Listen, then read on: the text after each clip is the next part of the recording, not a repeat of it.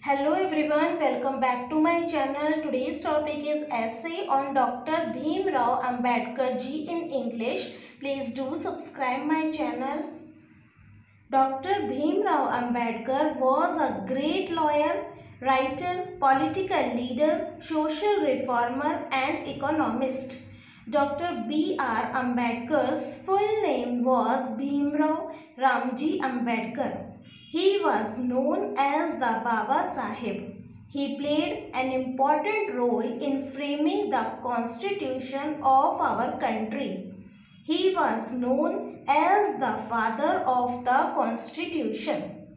Bhimrao Ambedkar was born on 14th April 1891 in Mhow, town of Madhya Pradesh. His father's name was Ramji Maloji Sakpal and he was a Subedar in the Indian Army. His mother's name was Bhima Bai and she was a housewife.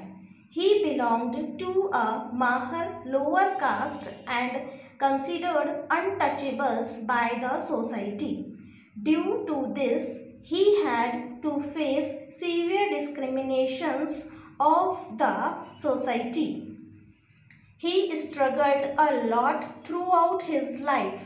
Ambedkar became one of the first Dalit to obtain a college education in India. He achieved the degrees of law and doctorate from London. Dr. Bhim Rao Ambedkar formed a political party which was called as Independent Labour Party. He became the first law minister of India. He died on 6th December 1956 at the age of 65 years.